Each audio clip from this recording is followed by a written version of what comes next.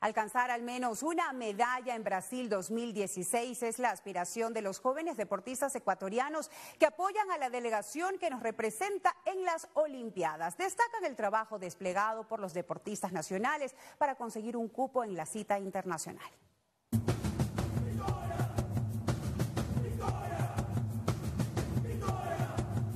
Preparación permanente, con disciplina y esfuerzo. Es lo que se observa en las diferentes pistas y polideportivos del país. Sí, muy duro. Piensa que correr es fácil, pero no lo es. Hay que esforzarse mucho para llegar muy alto.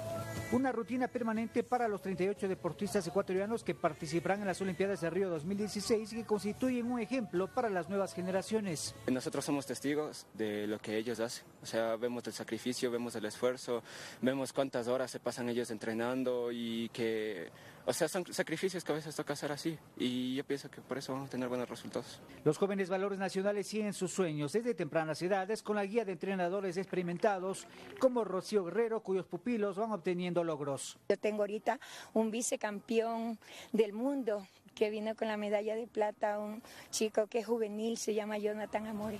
Alcanzar al menos una medalla en Brasil 2016 es la aspiración de los jóvenes deportistas ecuatorianos que apoyan a la delegación que participará en las Olimpiadas. Por supuesto, tengo mucha fe en ellos, sé que nos van a dejar en alto y les deseo mucha suerte. Hay expectativas, se puede entre Andrés Chocho es campeón panamericano y se puede que esté peleando y recién en el campeonato mundial en Roma quedó entre los seis primeros y puede pelear, eh, quedar en el podio. Si bien la esperanza de obtener una medalla en Brasil está latente, muchos piensan desde ya en las Olimpiadas de Tokio 2020. Rommel Garzón, Gama Noticias.